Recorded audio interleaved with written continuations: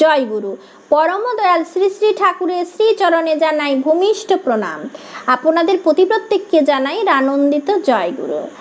আজকে ইষ্ট প্রসঙ্গ শুনলে আপনাদের খুবই ভালো লাগবে। আজ ঠাকুর বললেন নিরুপায়ের উপায় সম্পর্কে।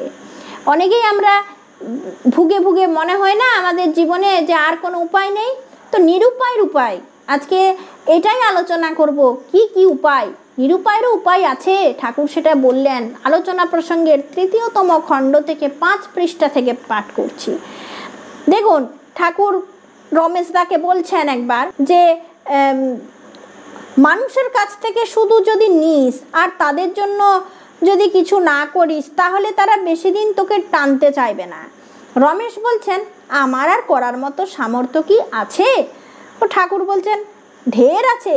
সব সময় খোঁজ খবর নিবি, শাকটা, পাতাটা, মূলোটা, কচুটা, যা পারিস হাতে করে তাই দিবি, সুখ্যাতি করবি সবাই যাতে আনন্দ পায় সেইটা করবি, পারলে বাড়ির ছোট ছেলে পেলেদের একটু একটু করে পড়িয়ে দিবি। মানে পাশাপাশি সম্পর্কে ঠাকুর বলছেন, ইচ্ছা থাকলে কত রকম করা যায়। আর যজন যাজন ইষ্টভৃতি কখনো ছাড়বি না। তোর বাবা একেবারে মক্ষম কথা বলে গেছে। যজন যাজন ইষ্টভীতি যে নিয়মিত করে তার চেহারার মধ্যে একটা দুতি দেখা যায়। সে দুতি বলে দেয় যে সে পরম পিতার আওতায় আছে, তাই শয়তান বা গ্রহ তাকে বড় একটা ঘায়েল করতে পারে না। বিপিনদা বলছেন, ঠাকুর, যজন যজন ইষ্টভীতি করে, এমন লোককেও তো দুর্ভোগ কম ভুগতে দেখি না? ও ঠাকুর, এরপর কি বললেন শুনুন। ঠাকুর বলছেন, দুর্ভোগ সকলের জীবনেই আসে, কিন্তু তখন যদি বুদ্ধিভ্রংশ হয়, তাহলে আরও সর্বনাশ। যজন যজন ইষ্টভীতি যে করে, তার মগজটা অনেকখানি ঠিক থাকে। তাই বিপদ আপদ আরও ঘোরালো হয়ে উঠতে পারে না। যজন যজন ইষ্টভীতি করা, ইষ্টি চলনে চলা মানে দুর্ভোগকে অতিক্রম করার পথে চলা। দুর্ভোগ মানুষের জীবনে আসবে না, সে কি হয়?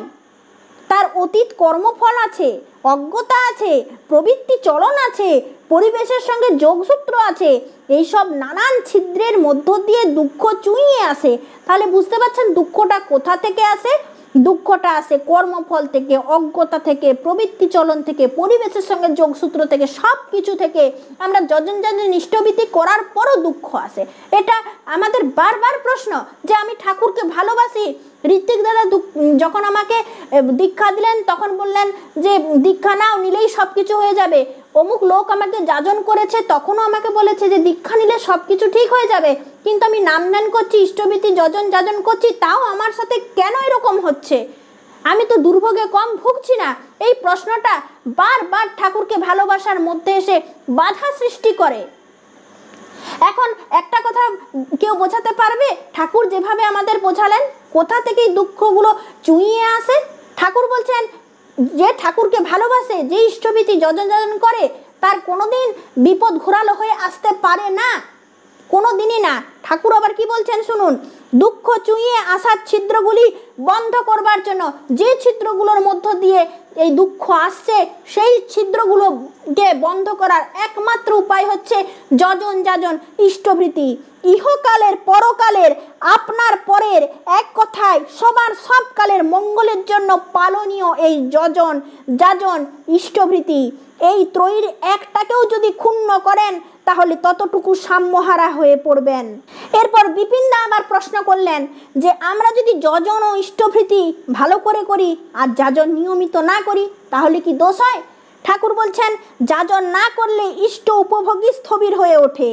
যজন যাজনকে সাহায্য করে, যাজন যজনকে সাহায্য করে, একটার অভাবে আরেকটা খাটো হয়ে পড়ে।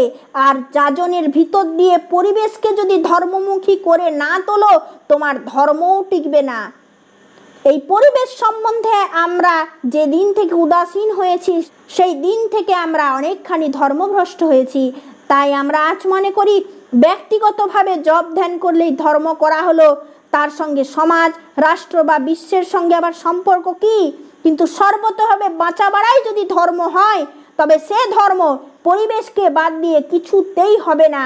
আর ধর্মের সঙ্গে মানুষের সর্বাঙ্গীন জীবন বৃদ্ধির যদি কোনো সম্পর্ক না থাকে, তবে সে ধর্মের সঙ্গে মানুষের কোনো সম্পর্ক নেই, ঠাকুর পরিষ্কারভাবে বলে দিলেন। এখন কি মনে হয়? দুর্ভোগ এলেও আমি আমার ঠাকুরকে ধরবো, ঠাকুরকে ভালোবাসবো, যজন যজন ইষ্টভীতি করব, পারিপার্শ্বিকের সেবা করব, সেই সঙ্গে আমার ঠাকুরকে আমি বলব ঠাকুর, তোমার ইচ্ছা আমার মধ্যে পূরণ হোক। ঠাকুর, তুমি আমার বুক জুড়ে থাকো। ঠাকুর, তুমি আমার হৃদয় জুড়ে থাকো। তার সঙ্গে সঙ্গে ঠাকুরকে বলব, ঠাকুর, যত দুঃখ আছে, যত ব্যথা বেদনা আছে, সব তুমি আমাকে দাও। তবুও আমি তোমার চরণ ছাড়বো না। এইভাবে ঠাকুরকে বলুন, আর ঠাকুর যা যা বললেন তাই করুন। এই হলো আসল নিরুপায়দের উপায়। আজকের ইষ্ট প্রসঙ্গ এই পর্যন্তই। ভালো থাকুন, সুস্থ থাকুন। জয় গুরু।